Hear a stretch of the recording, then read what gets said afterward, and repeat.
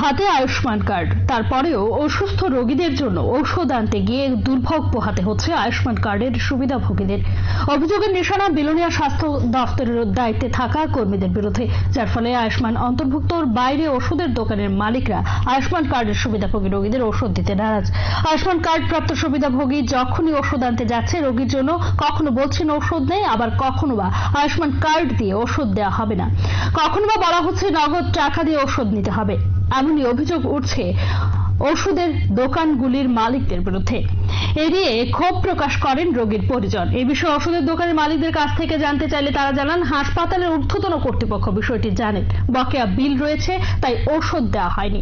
পরবর্তী সময়ে সংবাদ মাধ্যমে চাপে পড়ে ওষুধ প্রদান করতে শুরু করেন দোকান মালিকরা। কিন্তু এ ধরনের ঘটনা রাজ্যে প্রথমবার।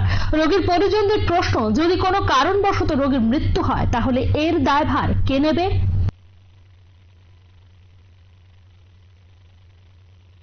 এখন মানে ওষুধ নাই। ওষুধ নাই। আর একজনের কাছে কাছে স্মার্ট কার্ডের ওষুধ নেই। আচ্ছা। স্মার্ট কার্ডের ওষুধ নাই? হ্যাঁ আরেকজনের কাছে ওষুধ নেই। এখানে কি ভর্তি? মানে আপনার রোগী ভর্তি আছে অলরেডি এখন ওষুধ মানে পাইতেছেন না দিতেছেন না কারোর বক্তব্য দোকানের বক্তব্য কি? দোকানদার? প্রথম গেছে পাশে ওষুধ দেখি আর পাশে নাই। এরপরে আবার গেছি আর পাশে স্মার্ট কার্ডে নাই এমনি কিনে নিন। কিনে না কিনে নিন। মানে ক্যাশ টাকা দিয়ে কিনলে আছে এমনিতে ফ্যাসিলিটি নিবার হইল নেই এরপরে আরেকজন কাছে আরে নাই বলি।